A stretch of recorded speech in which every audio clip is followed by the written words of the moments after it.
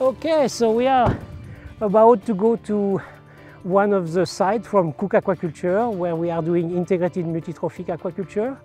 And uh, it's a project uh, between the University of New Brunswick, uh, the Department of Fisheries and Oceans, the St. Andrews Biological Station, Cooke Aquaculture and also Acadian Sea Plant. Well, I work on aquaculture because uh, really ocean is my passion and uh, working close to the water and in the labs, it's a wonderful mix. So uh, we work on uh, what we call integrated multitrophic aquaculture or IMTA. That means we are combining the cultivation of salmon with mussels and with seaweeds. And the whole idea is to uh, balance the whole system. Well, the, the kelps are very important in the IMTA system because they receive some of the dissolved nutrients directly, but also through uh, IMTA, some of the organic matter will be absorbed and processed by the mussels, by sea urchin, sea cucumber, and everything.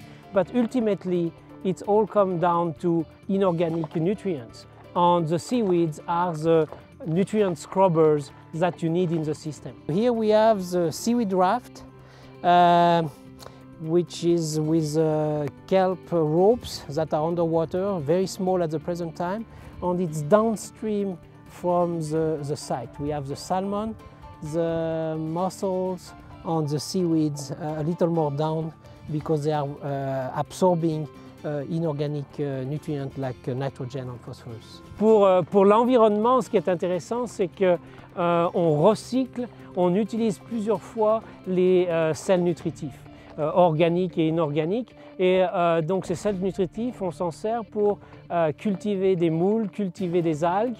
Et donc on, obtient plus de biomasse, de valeur commerciale sur un même site. Applied research is, is very important for industry. It's where we are at the interface between purely industry, purely research, applied research is in between. And that's what we need to progress in the continuum from research to development to commercialization. So that's why uh, applied research is right in the middle of it. The New Brunswick Innovation Foundation is quite unique in the way that it has a toolbox of different type of grants. And for us, for example, we had NBIF concept validation grants, we had uh, a research uh, assistantship uh, initiative, we had research technician assistantship, and all that between 2003 and 2007. And it has been tremendous help uh, for us because we were at that stage going from research to development, and now we are going from development to commercialization.